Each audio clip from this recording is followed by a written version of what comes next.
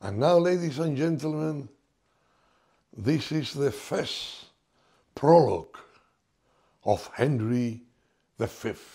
Oh, for a muse of fire that would ascend the brightest heaven of invention, a kingdom for a stage, princes to act, and monarchs to behold the swelling scene. Then should the warlike Harry, like himself, assume the port of Mars, and at his heels leech in like hounds. Should famine, sword, and fire crouch for employment, but pardon gentles all, the flat and raced spirit that has dared on this unworthy scaffold to bring forth so great an object. Can this cockpit hold the vasty fields of France? Or may we cram with this wooden or the very casque that did affright the air at Agincourt? Oh, pardon, since a crooked figure may attest a little place a million, and let us cipher to this great account on the imaginary forces work. Suppose within the girdles of these walls are now confined two mighty monarchies, whose high up rear and in front the perilous narrow ocean parts asunder. Piece out our imperfection with your thoughts. Into a thousand parts divide one man and make imaginary puissance. Think when we talk of horses that you see them printing the proud hoof in the receiving earth. For teach your thoughts that now must deck our kings, carry them here and there, jumping all times, turning this accomplishment of many years into an hourglass. For the wish supply, admit me chorus to this history, who prologue like, your humble, patient pray, gently to hear, kindly to judge our play. And this speech, ladies and gentlemen, what can I say? It's beautiful, lovely, referring to Julius Caesar. Peace! Let us hear what Antony can say.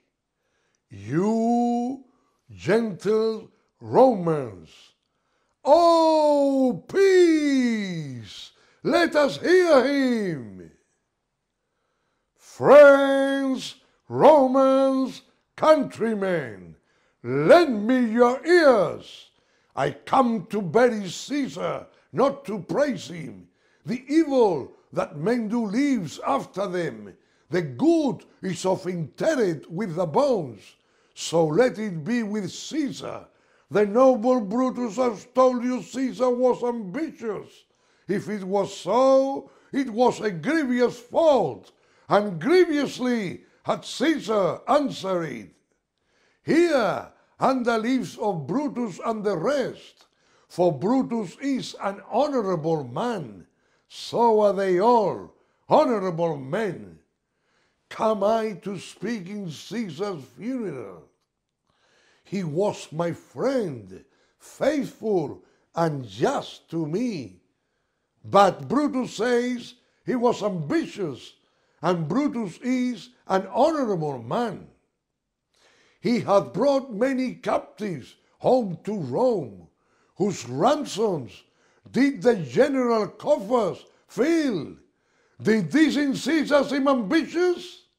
When that the poor have cried, Caesar has wept. Ambition should be made of sterner stuff. Yet Brutus says he was ambitious, and Brutus is an honorable man. You all did see that on the Lupercal I thrice presented him a kingly crown, which he did thrice refuse.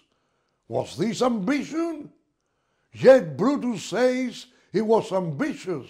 I'm sure he is an honorable man.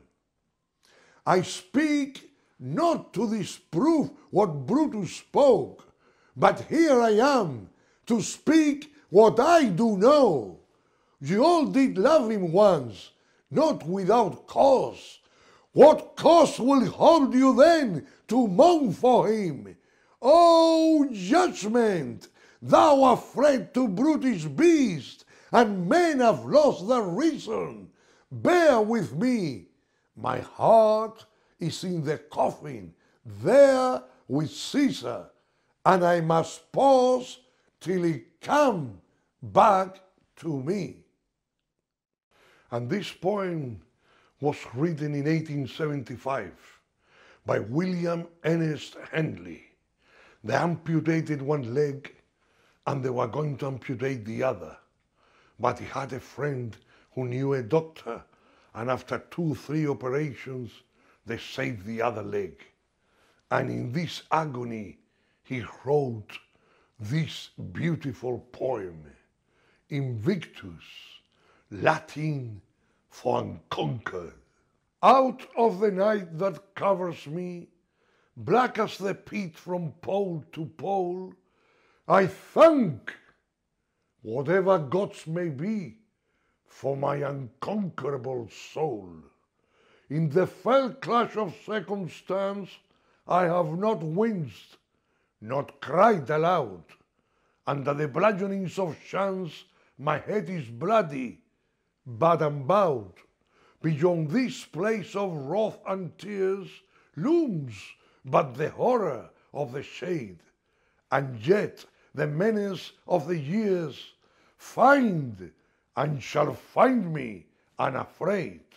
It matters not how strait the gate, how charged with punishment the scroll. I am the master of my fate. I am the captain of my soul.